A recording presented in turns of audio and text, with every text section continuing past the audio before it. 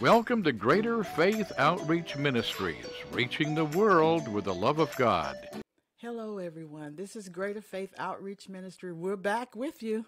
Hi. Glad to have you back with us. We always have some wonderful programs on, but this one is especially, mm-hmm. it's just something about this program and this lady, boy, I'm telling you, you're going to have to listen to this in its entirety because she has a lot to share with you. She has a very caring heart, and I talked to her briefly, and she's doing so much for so many. But we're not going to use her name because of the danger she could be in because she helps so many kids in, all over the world. But uh, today's guest is Lydia. Say hello, Lydia. Hi. And we have Miss Bellevue Washington, my co host. Hello. Wendy's out. She'll be back next week. Hi, Wendy. Hi, Wendy. I hope you're watching us. we love you. Right. But we're going to get started um, because, like I said, this is a very, very vital program. You know, and I was thinking about foster care and the children that age out at 18. Where do they go? What happens to those children? So, Lydia is going to give us a little information on that. And the name of her ministry is called Evidence of Grace. So, tell us what happened to these foster care children when they age out? Usually, when they age out at 18, um, they either go into a. The, the state will try and find a place for them to go. Mm-hmm. Okay. If they can't, they usually end up in the streets. Mm-hmm. And so, and there's a large majority of them that do end up there because of the fact that the situation that they're in, there are some good foster homes, mm-hmm. But there are more bad than there are good. And a lot of them are just there for the money themselves. So when the girls or boys um, age out at 18, mm-hmm. the state gives them a stipend. Mm-hmm. And so once they receive that stipend, the caregiver loses the money. Mm-hmm. And so that's why they want them out, is so they can get someone else back in. So if they do not have a place to go, they usually end up in the streets. They can't afford to get any type of housing mm-hmm. when they're only going to get about 703 a month. Mm-hmm. Even if they take someone else into an apartment with them, they still can't afford it. So they end up in the streets. Mm-hmm. And it only takes about three days once in the streets before they're picked up by a pimp Oh, God. and trafficked. So uh-huh. So let's back up a little bit here. What is your passion? Why are you so passionate about this subject here, about the foster care? um, I actually was a foster child that aged out. Okay. Yes. So And you experienced, you know. Yes, I have. Yeah. Okay. Um, I was blessed, though. I had a wonderful foster mother that um, was there for us. Um, but she did, she was a widow and she opened up her home um, for six girls. Um, and they would come through, and it was a receiving home before they would go into a foster home.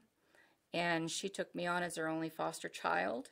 So I got to experience and learn a lot about the different types of abuse, and I just saw so much heartache. Um, and I was 14 at the time, so I was there four years and had gone through my own trauma through um, family members. And so it, yeah, it's kind of circled around to me. I've been fighting against human trafficking for, um, it's going on almost 16 years now. 16 years. Yeah. Wow. And I wanted to just briefly read this, what you shared with me. It's uh, your mission. It says the um, they the children, the foster care children, are most vulnerable um, in this evil battle against human trafficking. Thousands of lives are lost each year to the horrific evil, and it is evil. it is. And thousands upon thousands are coerced in the traps and the in slavery each year in the United States and abroad. Abroad, orphans age out orphanage, either orphanage, every day with evil waiting uh, outside the gate. Many are abused in the orphanages and their uh, in, and in their own va- in vi- villages. In America, foster children aged out of their homes around 18. But it, in other countries, it's a little different. And you deal with children in other countries as well. Right. And we talked about some horrific things that you saw Right. and that you dealt with at that airport. Could you talk about that before we jump into anything else? Because I was like blown away. Or are you talking about the one in Uganda? Or the one- Uganda. Uganda. Yes. Okay. Um, we had we were going over to check on the ministries in Uganda Mm-hmm, or in um, in Kenya, Uh-huh. and along the way I had to stop in Dubai, and I had a 13 hour layover, Mm-hmm. and uh, I had a lady with me. It was her first time ever to Africa, and um, we were sitting on one end, and the, the Lord kept saying to me, "Go to the other end and sit." Mm-hmm. So I ended up going down there and sitting, and I the Lord sat me right in the middle of ten women mm-hmm. that had been trafficked to mm-hmm. Dubai from Uganda two years prior, and they were being sent back to Uganda with return tickets to get two more girls each. And um, I was sitting there, and I was um, crocheting and making some pads I w- that I was going to um, teach the other girls how to make for an income. And she came over and sat next to me, this one woman, and asked what I was doing. I told her, and I told her what we did, and she said, looked at me and just said, "We've just been trafficked." So she told me her story and how the only thing that saved her from not being killed um, the whole time was that she fasted and she prayed. Um, they did ex- expect her to change her religion. She refused, but because she fasted, they respected her. And so um, she said that was the only thing that that saved her, and that she witnessed lots of incidences where, and I know this is true because of what the work I work with, the people I've um, dealt with. If they don't like you, they will take you to a clinic. They'll say they're taking you to get a checkup. Um, you go in, they give you a shot. That's part of the checkup. But what that shot does is it puts you uh, puts them out, and in that meantime, they take out a kidney. And this kidney is to replace what they feel they are, s- have lost in the tickets to get them there. And so they wake up. The, the woman has the passport and visa on her chest, and the, she is sent home. If she lives, she lives. If she dies, she dies. There's no there's no concern whatsoever. And so they don't find out they've actually lost a kidney. They just know they they've gone through surgery until they go back to Uganda and or wherever. I mean, it's wherever. Um, in this situation, it was Uganda, um, and it was. Uh, I was a part of being able. God used me to stop a trafficking ring in Madagascar where they trafficked 500 girls a month to Saudi Arabia and Kuwait. Yeah, and most of them came back dead. Um, there are those that survived. They came back in coffins. They came back with um, acid thrown in their faces. This actually was on the TV here several years ago. There was, But you've seen all this. I've seen all of it. Yes. Yes. Uh, And this is so real. yeah, it is. What would you say about that, Elizabeth? What's going just- on happening I just in the lost world? my words. I just, I know. I'm trying not so hard not to cry right now. Yeah, yeah. Um, And these are just women that, um, in those situations, are just women that want work and work to help their families. And that's what happened to this one woman. They came in, she was a tailor. They came in and they, a woman said, Would you like to take your job to the next level? Mm-hmm. And she's curious, of does that course. mean? And so they said, well, if you go and you work over here for two years with a contract, you can save the money, come back, and then take your business to the next level. You know, get more employees, you can buy more machines. And so she she fell into it. But when she realized when she got there, she wasn't getting any money. The mm-hmm. only money that was given to her was to assist her with her feminine hygiene oh gosh. she wasn't allowed to eat with the family. Um, she was only allowed to eat what was left on the plates after she had served them all. She was not allowed to cook for herself. Um, so she was she was literally a slave. And this is what happens all the time. all the time. all the time. and the National Center for Missing and Exploited Kids, 92 are runaways. Approximately 82 out of the 92 are foster, foster kid- children. Yeah, exactly. Yeah.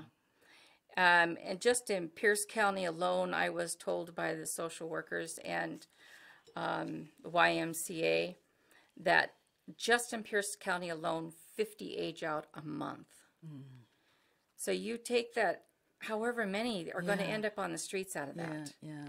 I just was told that, um, and I don't know how true this is, but I was just told that the state was going to raise the the age to 21 so that they can stay in the foster, Foster care, care. and finish high school. But that still doesn't take care of those who need to get out of there. And the first thing they're going to think when they turn 18 is, my situation is, situation is so bad, I need to get out. Mm-hmm, And so they feel that going to the streets is a whole lot better than the situation that they're in.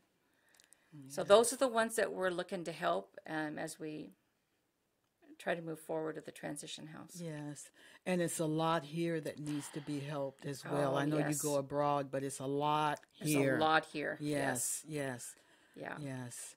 So uh, tell us how. Before the time runs out, we want to make sure we get the help that you Okay. need. Right. Okay, how can we help? I know we can pray, and you know we can volunteer and different things. So you tell us what can we do?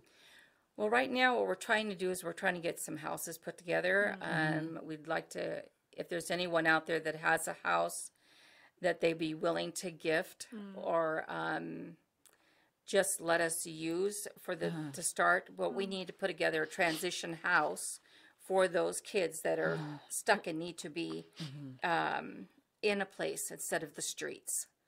We want to be able to offer that because right now they don't have that. Mm-hmm. Um, a shelter doesn't last very long, No. and it gets them caught up in and in the hooks of Yeah, it.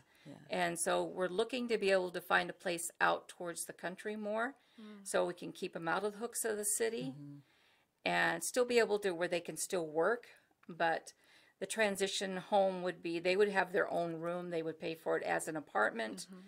And uh, just give them a safe environment to transition into adulthood. Okay, do you have any idea of how many are aging out each month, turning 18, Just in Pierce County, uh-huh. just in Pierce County alone, they told me 50 50 a month. each month? Each month. 18, Thousand approximate. 50 yeah. children at the age 18 are out there on the streets. Yes. Because, you know, when they get some kids, you know, they just want to escape. They want to get out. You know, I'm Yeah. 18 now, Yeah. but they don't know how these streets are, Right, exactly. you know? You're right.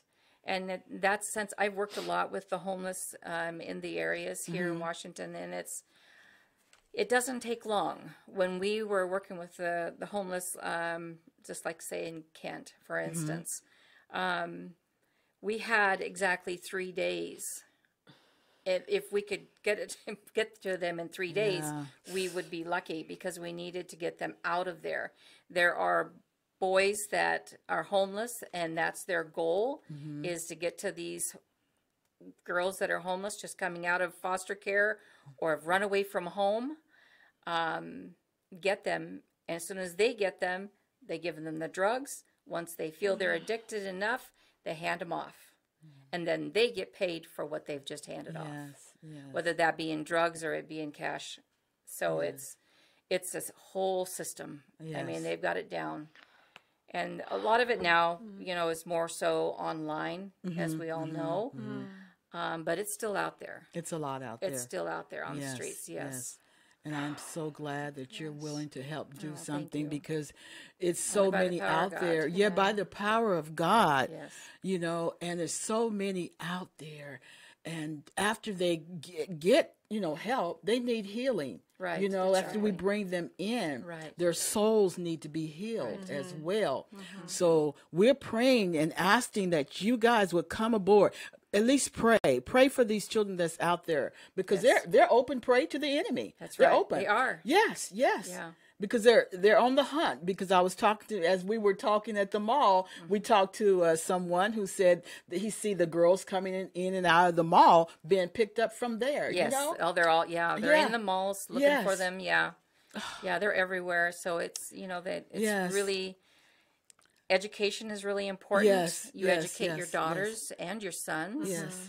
um, as you know, educate yourself and then educate Yeah, them. And it's hard because they're in that age group of 13 to 18. You know, they're at this kind of a um, rebellious age. Mm-hmm, That's why they're so vulnerable. Vulnerable, yes. Because they are rebellious and the traffickers know it. Mm-hmm. And so it's easy for them to coerce them and to get them to do what they want. Just, Mm-hmm. you know, it's. Um, they're not being loved here, so I'm Yeah, going to love them, yeah, and yeah. you know I'm going to give them what they want. But they don't realize what's on the other end of that. Yes. And again, they need so much Yes, healing, healing, after yes. that because some of the stories that I've heard and you shared with me about these kids being locked up for Yes. days and just like meat, like Yes. animals, you Right, know, right. and just being let out just to have sex Right. with other men, with men. And it's just a horrible thing. And, you know, their souls are so bruised and damaged. Do they think they're throwaways, you know, yeah, no good? and they and a lot of them Yeah. do. They don't think Yeah. they have anything else. yes, yes. that they can do in life, and so Yes. it is. It's a it's a process. Um, it's a long journey yes. of healing, but it is possible. The healing is possible, and that's we have a lot of of people that have come alongside to help with that. Um, we have a lot of experience in there to Mm-hmm. be able to help in these transition homes. Okay. And so God just keeps bringing more and more people on board to be able to help. It's a need. It's a great need. Yes. And when I spoke with the YMCA, they were just so excited to hear that a, a possible home would be coming. Oh, that's Yeah. amazing. So Yeah. So that's what you're currently yes, that's what we're Dealing with focusing now. on right now. is Okay. we want to. My heart has really been burdened with this. As God said, stop it before it gets there. yes, You know, Yes. that's, that's what we do is fight against trafficking. yes, yes. And then when in doing that, we're coming alongside the poorest of the poor. Mm-hmm, And um, those that are orphans, widows, whatever, those that it would get caught the most. You know, foster kids are orphans. Yes, exactly. Yes. And they don't, people don't want to call it that, but that's what it is. They're orphans. Mm-hmm. They're in a home because they don't, their mom and dad cannot take care of them. So Yeah, and they need to know that there's people out there that will Care, care, for them, yes. Mm-hmm. that will pray for them, and the main thing that Jesus made them that they are something. They are not throwaways. You know, and we've all been in different situations where we thought that we could not be used or changed, but God can. Right. You know, they have hope. they still have so so much hope. Yeah. So don't give up. Yeah, there was um if I have got time, there's one lady that um as I was going out looking at, at houses, God um told me to go to this one s- uh, house that was having an open house. So I went and the lady said the real estate lady, she said, um, so what is it you're looking for? I told her, you know, five acres at least or more, five bedroom home with three bedroom or three bathrooms. And I told her we're trying to do a transition home for girls coming out of foster care, aging out. She stops. She looks at me and she goes, I don't normally tell anybody this, hmm. but I was one of those kids. Oh, oh. And so she tells me her story hmm. and how she was in Alaska and the state actually kicked her out at 17 oh, Lord. and she had no place to go.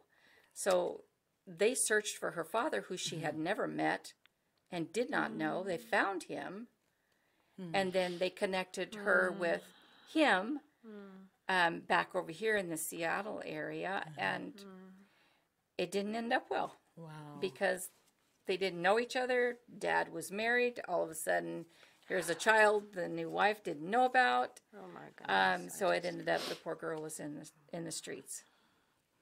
Can I imagine that? I don't know how can they kick them out. Just Yeah, it, it's all What- about the almighty dollar. Yeah, dollar. exactly.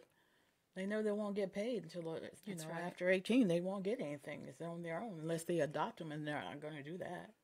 Uh, yeah, it's There it's, are- it's all about yeah, yeah, yeah. it's all about the money. Some of s- Yeah. these situations. there are There's some, really good them- ones. Yeah, Mm-hmm. and you know that's a, a lot too. If the churches, you know, there's anybody out there in the churches that are willing to take a foster child in, Yes. that ages out. You know, if you've got an extra room, oh please, please think about doing that Yeah, because yeah. That's going to save a child's life. yes. And I see you have some keys for helping is um, invest and to pray and to volunteer. All these things are so Yeah. needed, you know, yeah. for these children. Um, We they have really volunteers need us. Uh-huh. that are waiting for the houses to be opened. So it's um, tutors. Yeah. Yeah, we've got. You know, God has given you He's so. good. Yeah, God is good. But We to- just need the house. exactly, exactly. And I think about all that you have oh. done in the past too, and and you recently, you're trying to get two young girls Right, their visas Kenya. right from Kenya. Yeah. You know, get them out of danger. Right. You are remarkable, you know, to That's- do that. Yes, that heart. He gives us the Superwoman. heart for souls. I know. And they say right. we're the minority. we're the majority, really. Yes. You know, but yeah. So you do so much for so many, and Thank you're, you. and it's such a blessing.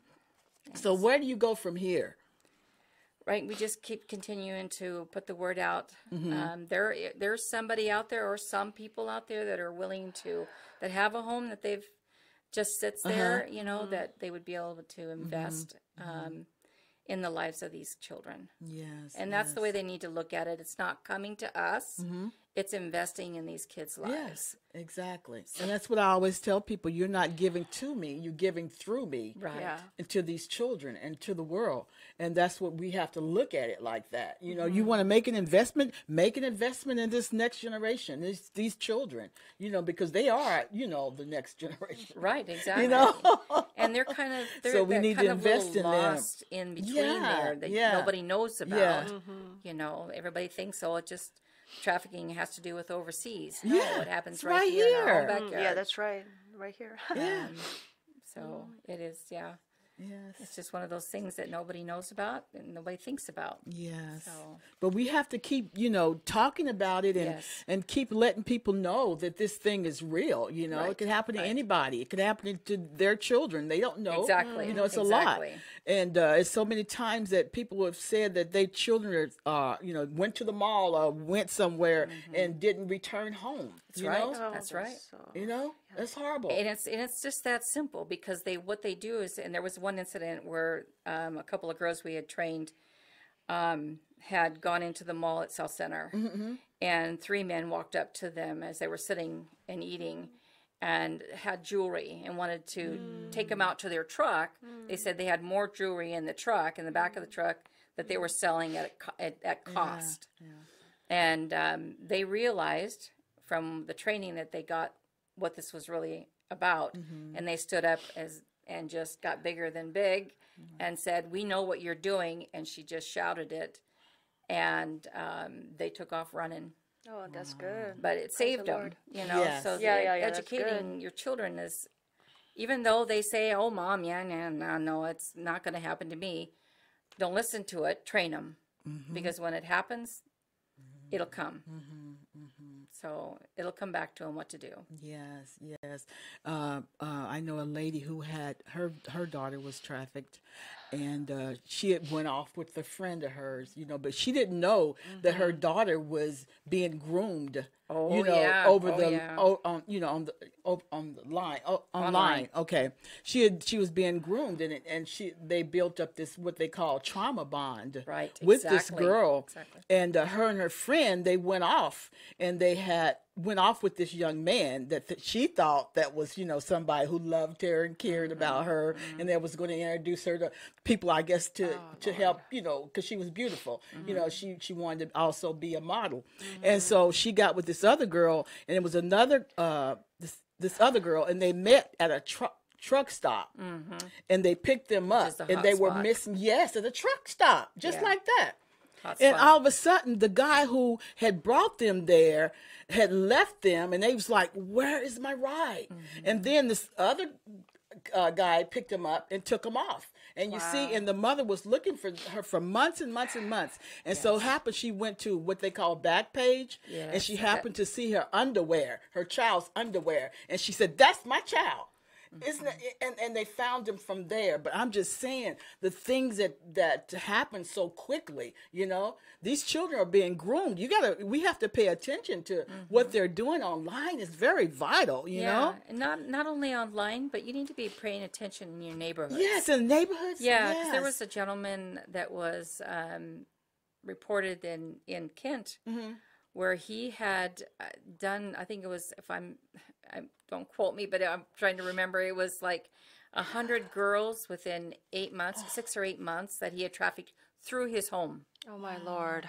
Can I You know, and that? they had him in jail. I never did hear the results yeah, of what yeah, you know yeah. his conviction, but you just have to be You aware. have to be aware. Yeah. Yes. And I know some of the issues, like we talked about before, the issues we talk about are real. Right. A lot of them are sensitive and horrific, you know, but we got to keep our joy. You know, Yes, we we have to keep our joy and keep our minds. Yes. You know, and I, I, I, I thought about this morning about um, a TV show that I used to host, and it was called Joy in Our Town. But we talked about horrific, terrible things and the conditions of the world and things like that. But the Lord is telling us to keep your joy through it mm. because joy is like a military term. It keeps your mind, just like peace and joy. It's all a part of it, you know. So we live in this world, but we're not of this world. But we have to continue to keep our joy Right. through all of it, you know, Yeah. knowing that God's gonna, you know, everything is gonna work out in the end because, you know, because He has a better place for us. But yeah, we have to keep our joy and know that things are going to work out. You know, we have to do that. We can't remember what Jesus said: "For the joy that's laid up before me, I do all this." He went to the cross, knowing that the joy that was laid up before him. Now, who does that? You know what I'm saying? he was going to take on the whole world's sin and all Yeah, of this, you know, for the joy that's set before him. So I'm just encouraging you out there, especially this time of the year. Yes. You know, you might have a missing child out there or, mm-hmm. or a loved one who's passed away or something like that. Mm-hmm. But please hold on to your joy. You know, know that mm-hmm. this is not it. I always tell people that when God said, when he when we see our redemption drawing near, he said, rejoice, didn't he? Didn't he say that? Yeah. He, didn't he? Because he knows he has better plans for her. All this is going to pass away. We're going to have a new heaven, new earth, and all of that. So rejoice. And while you are here, pray for your loved ones. You know, Yes, pray for yes. them. And don't condemn them. Yeah, pray for their protection because these children, they need us. They need our prayers. Yes. Prayer is so powerful. Yeah. You know. And it's a and it's a huge attack on the children. Yes, Uh, yes. the enemy enemy knows that's you know that's our heart. yes. And so it it, it is. It's a huge attack on Mm-hmm. Yeah, he knows our hearts. You know, yeah. we have a heart for souls. You know, yes, yes. But we have to um, pray for those children and Yes. you know pray for their safety and pray for the attention that people that will listen to what's being said. Yes. You know. Yeah. They have to listen to this because you you experience this all around the world, like just not here in America, but in other countries, and you see how real this is. And you told me about the hundreds and hundreds of of children that just disappeared. Yeah, there was a an incident in um, this is trafficking of organs uh, incident in Honduras where they found a truck Honduras. that was um, full of this is hard, but it's um, little children's bodies, and it was full of these bodies, and their chests were o- uh, their whole bodies were opened up and empty of their organs, and so it's you know it's something that it's horrific. Yes. Um, They don't want to put that out there, but we've got to know it. We have we've to got know it. be. I mean, it just takes one one second for a child to disappear Yeah. if you're not watching them. Um, and that's it. That includes teens. Yes. It it doesn't take much, you know. So you've always got to be. You don't want to be what they call a helicopter mom. Mm-hmm. You know, but nowadays I'm I'm sorry, but you almost have to. You almost have to because it's gotten to true. that Yeah, yeah, point. So educating, I think, is the best thing you can do for your children Yeah.